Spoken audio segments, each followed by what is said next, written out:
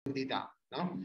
Eh, perché venivamo noi giovani da, eh, dalla caduta del muro di Berlino che ci dava tante speranze tre anni prima e solo dopo tre anni, neanche dopo tre anni, dopo no, due anni e mezzo, eh, vedere due, un martirio, ecco la parola giusta, no? di due eroi eh, come Falcone Borsellino ci, ci addolorò tantissimo e però non ci spense le speranze, perché anche all'università no, si parlava molto di questo e, e forse credo che in Italia un risveglio della coscienza civile del popolo nel senso più ampio ci sia stato attraverso questo. Poi che le istituzioni invece non abbiano, come dire, corrisposto questo risveglio civile e che magari facciano semplicemente un ossequio alla nave della legalità, no? a tutte queste, come dire, sì, eh, queste manifestazioni di ehm, ossequio formale alla memoria di, suo fratello e di Giovanni Falcone è un altro discorso. Eh, purtroppo la storia italiana, come dicevo prima con eh, il nostro ospite, diciamo, eh, giornalista appunto che adesso continuerà la, l'intervista, la storia italiana è stata caratterizzata forse proprio da questo, da una mancanza no, di un senso dello Stato e del rapporto tra cittadini e Stato, in cui la mafia si infiltra, si insinua.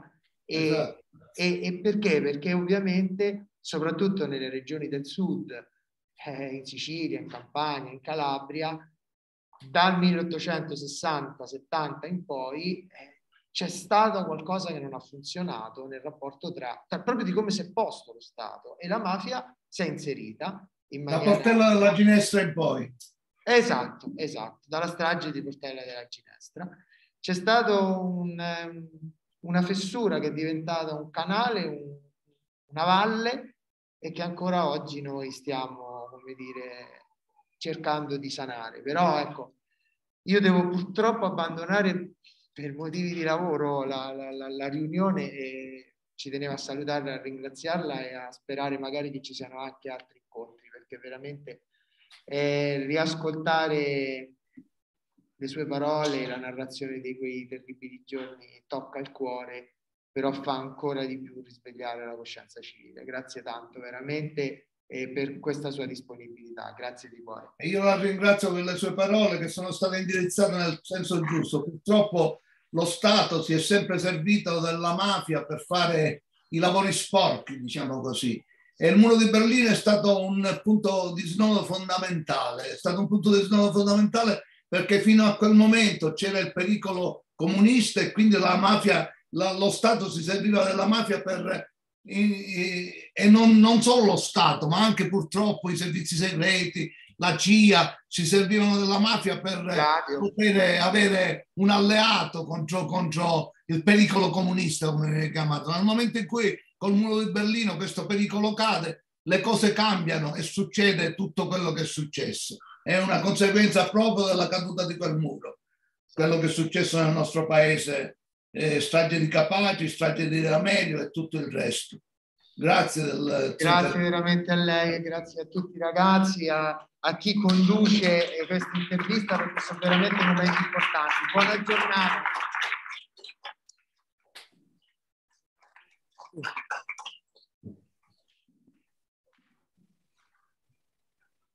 Continuiamo con, con le domande.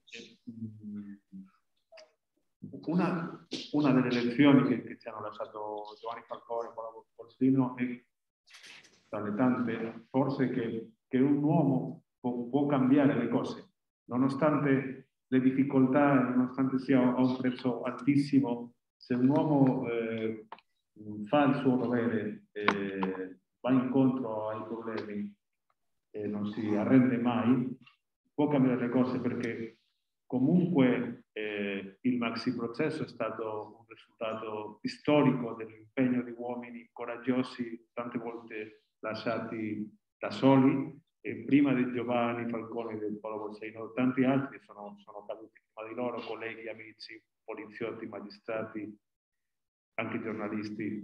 E sono questi uomini che sono, hanno portato avanti un, un, un, un passo storico per la, per la democrazia, per Repubblica Italiana. No? E, e, anche dopo eh, tutti questi mafiosi, che, i clan di Corleonesi tanti altri, sono stati sconfitti, sono finiti in prigione. Ovviamente ancora c'è tanto lavoro da fare, soprattutto capire tutta questa parte oscura, i moventi che ha dato gli ordini e le sue complicità, ma sono, il, il, il, suo lavoro, il suo sacrificio è servito a qualcosa. Di che ne pensi?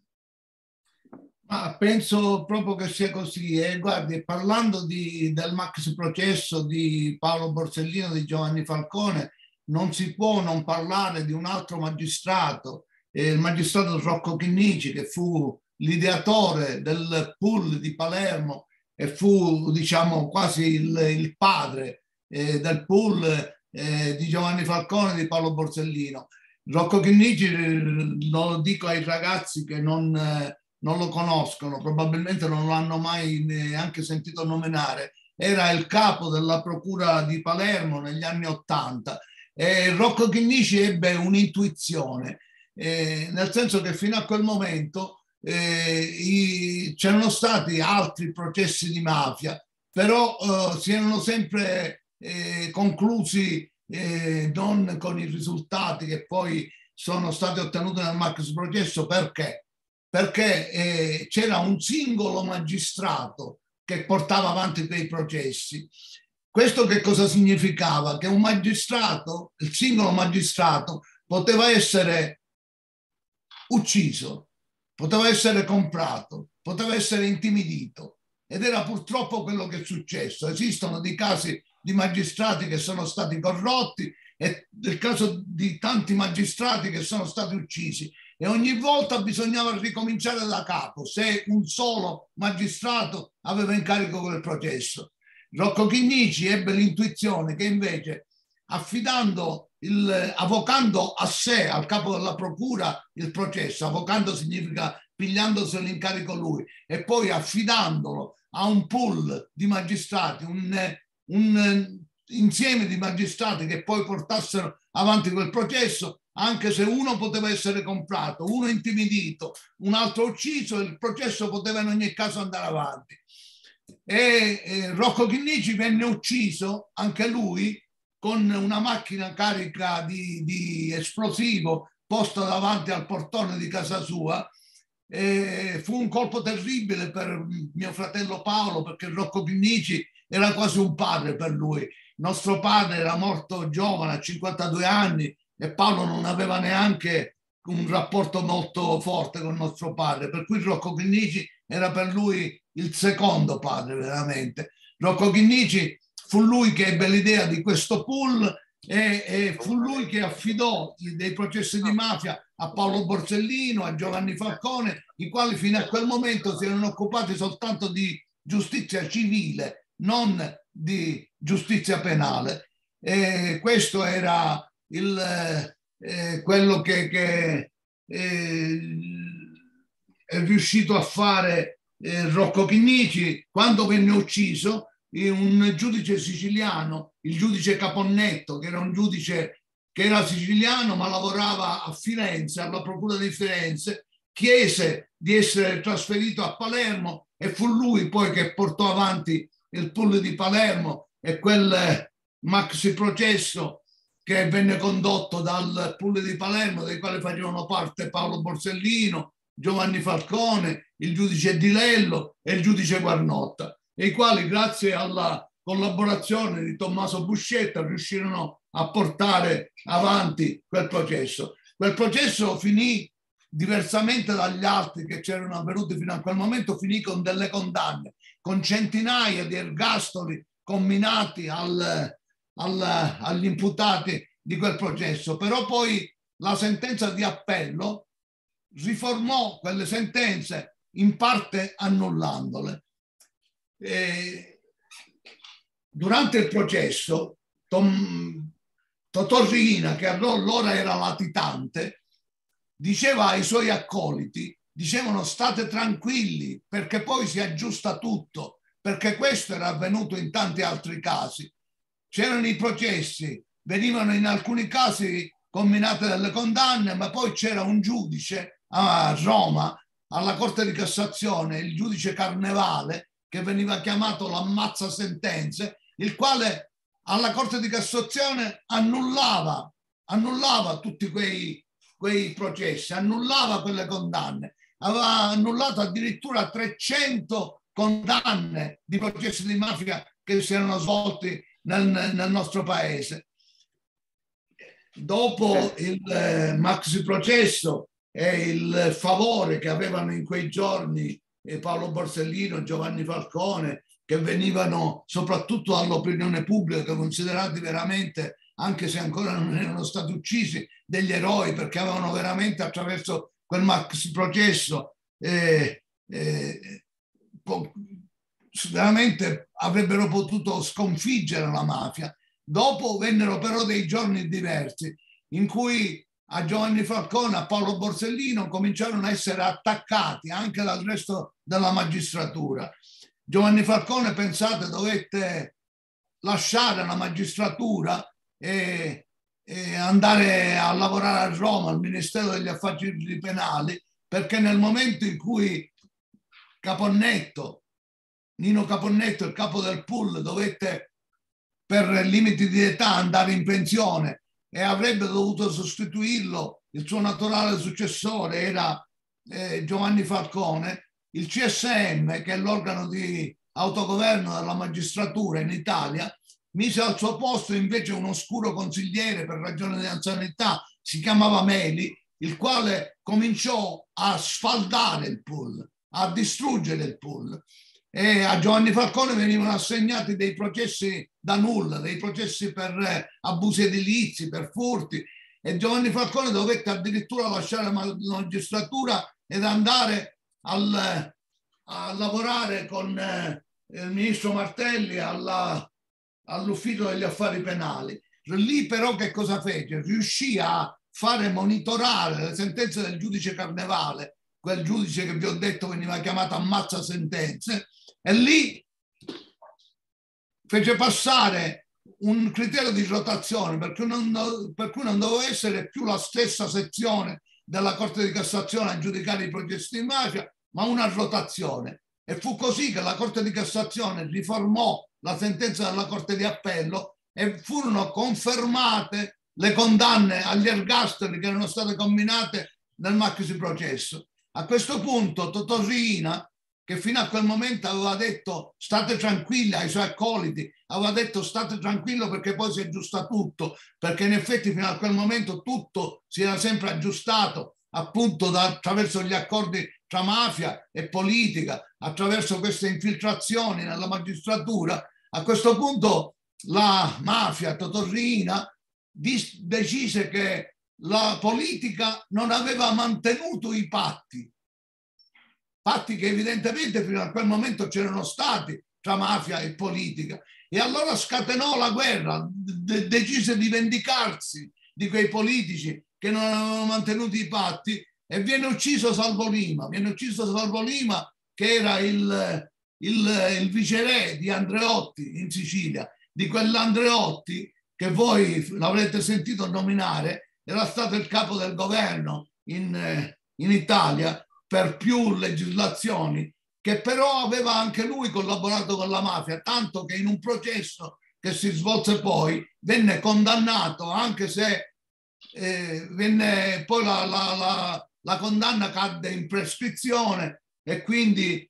eh, era stato, eh, non, non, non era andato mai in galera. Salvo Lima era il viceré di, di Andreotti in Sicilia, quello che gestiva la sua corrente politica e uccidendo Salvo Lima venne impedito l'ascesa alla presidenza della Repubblica di Giulio Andreotti che in quei giorni stava per essere eletto presidente della Repubblica. Questa fu la vendetta della mafia nei confronti dei politici. E poi c'era nella, nella nel, nella lista di Rina tutta un'altra serie di politici che dovevano essere uccisi per vendicarsi del risultato del, del maxi processo. E allora è da lì che nasce la trattativa, perché alcuni di questi politici, per il terrore della vendetta di Rina, era stato già ucciso Salvo Lima adesso toccava a loro, si rivolsero a dei servizi deviati in Italia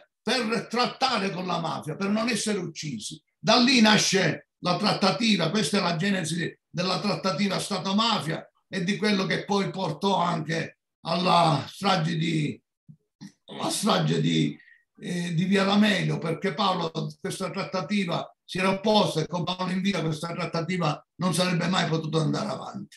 Sì, eh, eh, una lettura della storia che non, noi non leggeremo mai su libri questa. Io per questo noi la ringraziamo di, di questo, e, perché anche non sempre si legge sui giornali o una sequenza storica così chiara. E adesso ci sono dei ragazzi che vorrebbero direttamente farle delle domande. Sì, eh, ecco.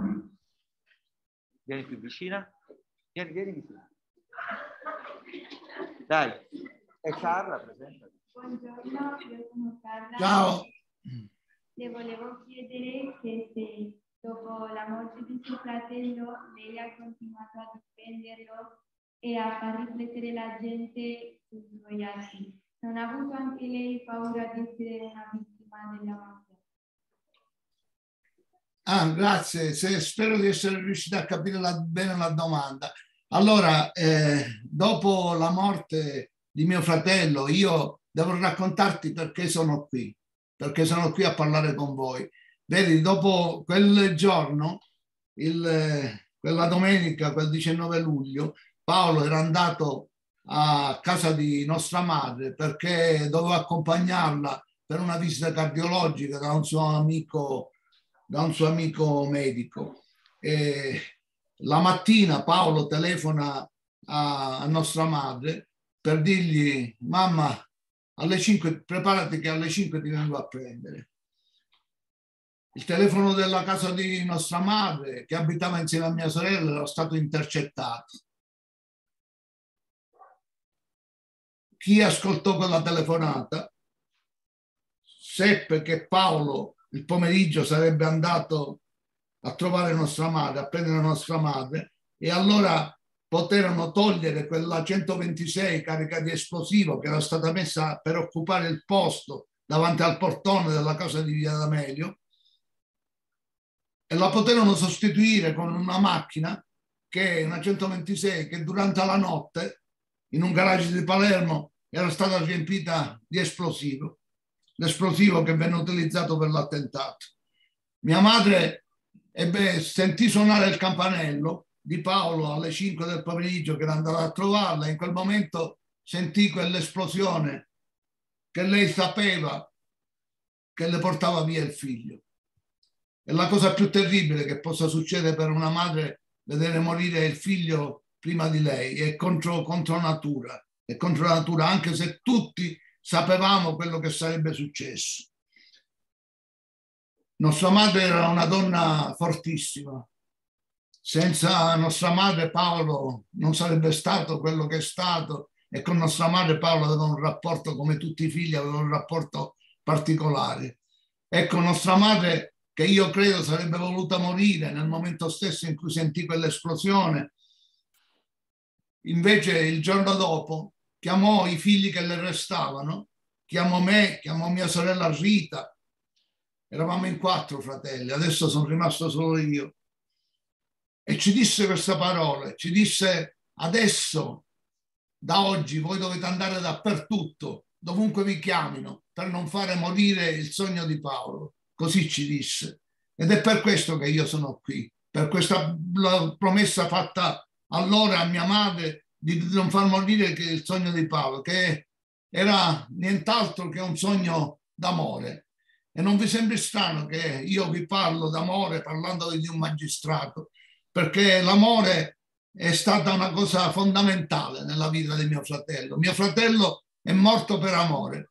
E ve lo voglio dire attraverso una frase che io ho fatto scrivere nella prima pagina di questa agenda rossa che oggi rappresenta l'arma, un'arma di lotta per noi che a 30 anni di distanza ancora cerchiamo verità e giustizia. Questa è la frase più bella di Paolo che parla di tutta la sua vita. Paolo dice, Palermo non mi piaceva, per questo imparai ad amarla, perché il vero amore consiste nell'amare ciò che non ci piace per poterlo cambiare. Vedete, una frase di nemmeno 20 parole, eppure per tre volte Paolo pronuncia la stessa parola, la parola amore. E io credo che mio fratello sia morto per amore, perché mio fratello era conscio di quello che sarebbe successo, sapeva che doveva morire e poteva fuggire, poteva andare via, poteva scappare e invece è rimasto lì a Palermo sapendo quello che era il suo destino ed è rimasto, sapete perché? Perché Paolo, ritengo, sapesse, era conscio del fatto che soltanto attraverso la sua morte avrebbe potuto svegliare le coscienze degli italiani e le coscienze soprattutto dei giovani. Paolo per questo è morto, è morto sapendo di dover morire e ha scelto di morire. E questo, in questo si può essere in una scelta così forte, così determinante, così terribile, non può essere altro che l'amore a guidarci ed è l'amore che ha guidato Paolo.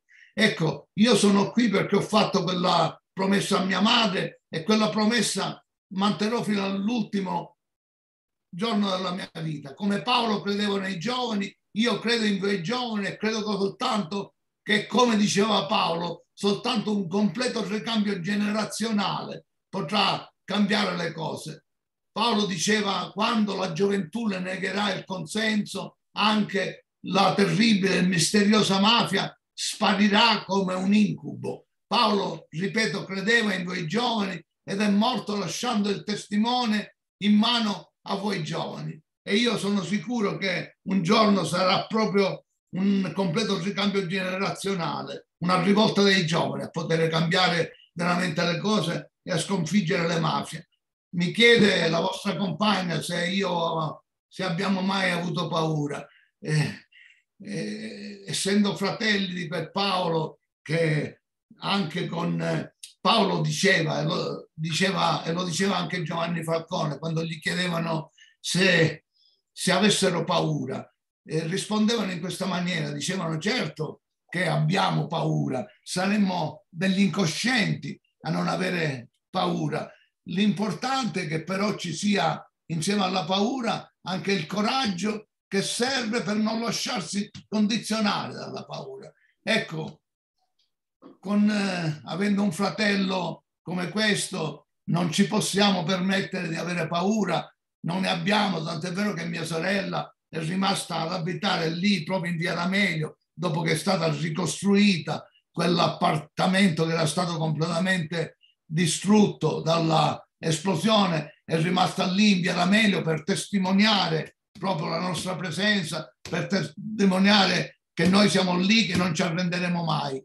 E mia madre ha voluto che nella buca scavata dall'esplosione, in quello che era diventato un luogo di violenza e di morte, fosse piantato un albero di olivo che fosse invece simbolo di speranza e simbolo di pace è stato piantato proprio nella buca scavata dall'esplosione, nella terra che è stata incisa del sangue di quei, di quei... Non è morto soltanto Paolo quel giorno e nostra madre ci ha fatto giurare che ogni volta che avessimo pronunciato il nome di Paolo avessimo pronunciato anche il nome di Agostino, di Claudio, di Emanuela, di Vincenzo, di Eddi, i cinque servitori dello Stato che hanno sacrificato la vita insieme a Paolo, sapendo che fare da scorta a Paolo significava poter rischiare la morte. Ecco, anche quei ragazzi avevano paura, sicuramente, ma avevano anche il coraggio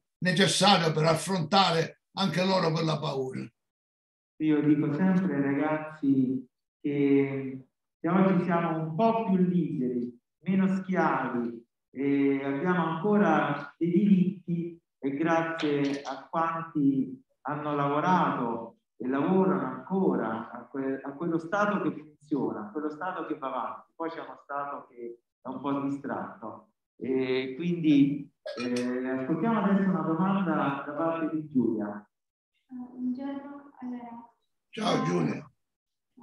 Allora, la prima domanda è, uh, quasi tutti dicono che uh, la gialla rossa la tengono i mafiosi Ma può essere qualcuno, anche se conosciuto da Borsellino, la sta, la sta tenendo nascosta per proteggerlo? Mi potete ripetere la domanda per favore perché non l'ho sentita bene con la mascherina? Magari la, me la fai ripetere dal giornalista o dal, o dal professore perché non, con la mascherina non si riesce a sentire bene. Ho sentito che parlavi dell'agenda rossa, però non ho capito esattamente che cosa dicevi. Sì, forse eh, sentiamo il giornalista cosa dice.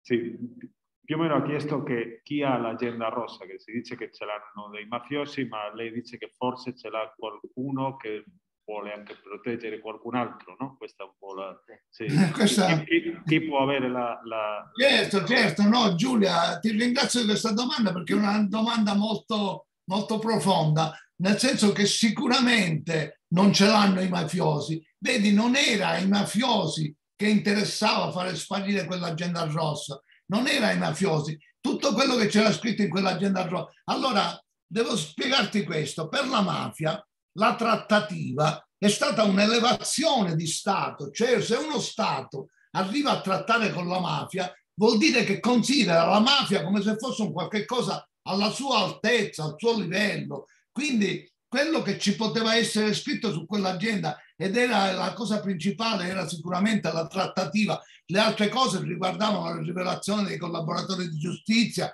che erano l'infiltrazione della mafia all'interno dello Stato. E non era sicuramente alla mafia che interessava fare sparire quell'agenda. E chi interessava far, fare sparire quell'agenda? A chi aveva portato avanti quella trattativa quella trattativa che non doveva arrivare all'opinione pubblica. Te l'ho detto che se allora fosse venuto fuori l'esistenza della trattativa sarebbe scoppiata la rivoluzione, la rivolta civile in Italia. Quindi non è, sono sicuramente i mafiosi che hanno quell'agenda. Quell'agenda è stata sottratta dai servizi deviati dello Stato, dai servizi segreti deviati e sicuramente è ancora in mano a quei servizi perché su quell'agenda si basano dei ricatti incrociati che reggono purtroppo forse ancora oggi gli equilibri di questa disgraziata nostra Repubblica, nostra Repubblica Italiana. Sono è, è lo Stato deviato, lo Stato corrotto, lo Stato